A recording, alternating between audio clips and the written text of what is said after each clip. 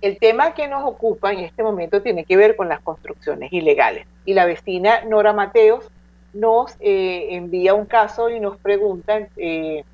quién debe ser responsable por los daños y los deterioros causados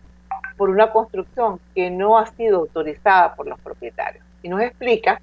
que en su edificio eh, un, vecino, un propietario que ya no, no está en el edificio, construyó em, encima de la terraza una, una habitación, o sea, encima de, su piso, ¿no? De su, una habitación y esto, por supuesto, no autorizada, pues trajo como consecuencia el hundimiento de lo que llama ella el cuarto de los transformadores y ocasionaron unos daños. En este momento su condominio pues está dispuesto a hacer la reparación de esos daños o la reparación, la reposición de esos daños y se lo están cobrando a todos los propietarios. Claro, el deber ser, señora Nora, es que quien causó el daño esté obligado a repararlo.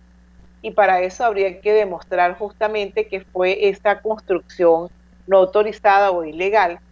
eh, la que ocasionó el hundimiento del cuarto de transformadores y demostrarlo con una experticia, con algunas fotos, un informe de un ingeniero civil eh, que pueda dar fe de eso y además de eso poderle exigir la responsabilidad al que hizo la obra. Si en este momento ya eh, la persona que realizó esto no se encuentra viviendo en el edificio, habría que evaluar, contratar los servicios de un abogado para que el abogado con, los, con la documentación en mano, con todos los elementos que puede tener en la mano, decida si es factible poder recobrar esos daños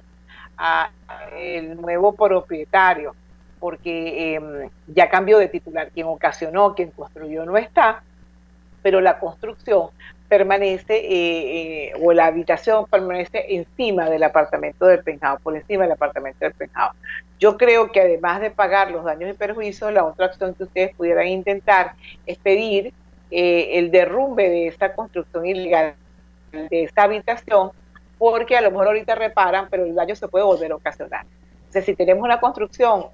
no legal este, por, a través de la vía del interdicto, eh, pudiera, no de obra nueva porque ya tiene mucho tiempo, pero sí de, obra, vieja, eh, señalando los daños que pueden ocasionar a futuro y explicar la situación que ustedes tienen acá.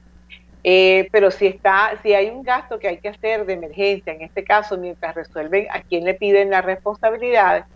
pues es lógico que sean los, los copropietarios los que tengan que cubrir esos gastos de emergencia. Mientras, este, como les dije anteriormente, eh, con la ayuda de varios expertos en el área civil y en el área legal, deciden ustedes este, cuáles son las acciones a tomar para que esta situación no vuelva a presentarse.